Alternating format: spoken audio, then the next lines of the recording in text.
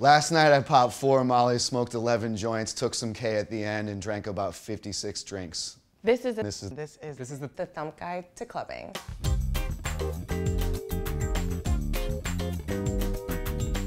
make tea in the morning, like lemon, honey, ginger.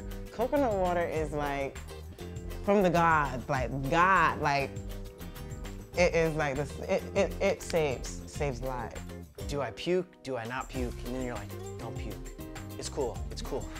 We can get through this. Don't puke. Don't puke.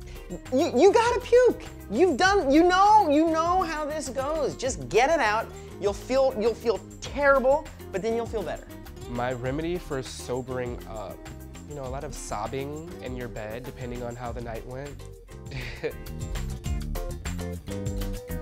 If you're trying and you can't cancel, you can't cancel that thing. It's like it's important that you have to be at that place at that time. Prayer helps. I pray for you. Usually I put on like three times as much makeup when I'm hungover just so I feel like I look like a human being compared to how I actually feel on the inside. well, if you're out on a wild night and you're completely hungover the next day, and you have another party to attend the same day, you should probably just continue drinking.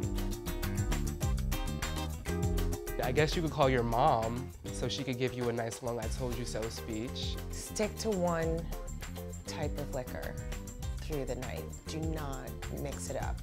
As soon as you mix it up, that's when you get the headache and the bloat and all that stuff. There's only one way to survive it the next day after a big night, and that's to be a motherfucking G.